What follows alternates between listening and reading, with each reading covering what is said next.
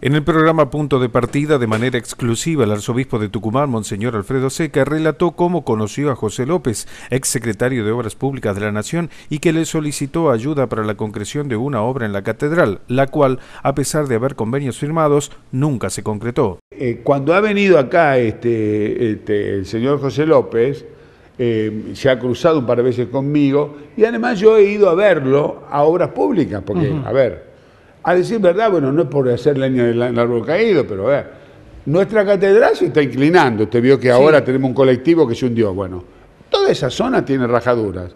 La torre de la catedral se está inclinando. Bueno, nosotros nos ocupamos de hacer, hacer un estudio a la Facultad de Arquitectura. Yo lo fui a ver al ingeniero López y se lo presenté. Le dije, mire, yo no quería venir acá a pedir plata así al cohete. No, yo quiero venir con fundamento acá están los planos, esta es la situación, ustedes son los que les corresponde.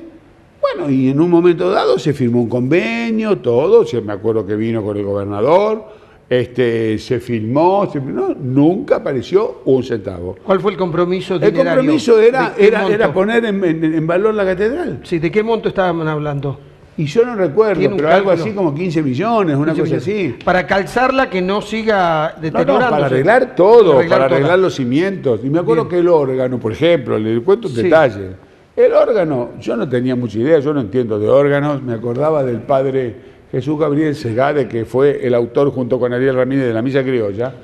Me dice, mirá, me dice, este, hoy en día, dice, vos conseguís unos órganos electrónicos en, en Italia que son una maravilla. Este, entonces mi duda era, digo, ¿vamos a restaurar esto o no? Llamamos a un, tipo especialista, me dice, mire, usted esto lo tiene que reparar porque es un órgano de 1850 que tiene un valor extraordinario. Bueno, el chiste más o menos nos salió cerca de 100 mil dólares, que los pusimos nosotros, no me lo dio nadie, juntándolo como pudimos.